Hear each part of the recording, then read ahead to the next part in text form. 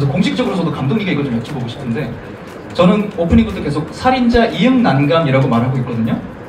이게 맞는 발음일까요? 이게 살인 장 난감인지 살인자 오 난감인지 굉장히 헷갈리더라고요. 예, 뭐 원작 작가님을 좀 전에 뵙고 왔거든요. 네.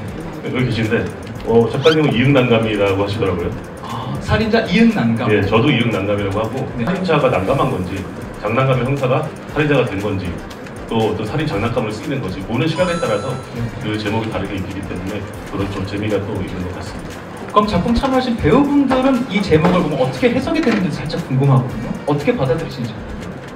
저희도 오난감이라고 했었을 때도 있었어요. 네. 그래서 뭐, 어, 살인자 그 이행이 이행이라고 안 보고 뭔가 그냥 뭔가 느낌표 같은 이모티콘처럼 보- 봤을 때도 있고 저희도 계속 좀 많이 바꾸 면서 얘기를 했던 것 같아요.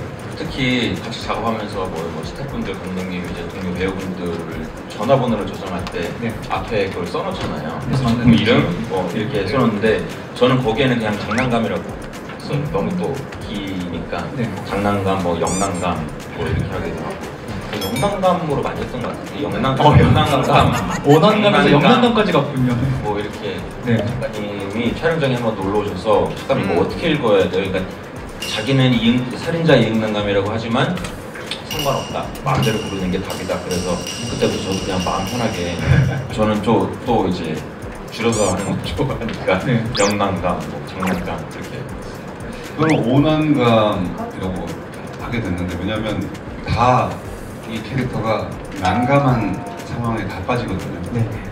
그래서 다 난감하구나. 그래서 오, 오난감. 감탄사 오를 써서 오난감이라고 했고 저도 핸드폰 이제 스태프들 저장하면 감독님도 이창희 감독님 살인자.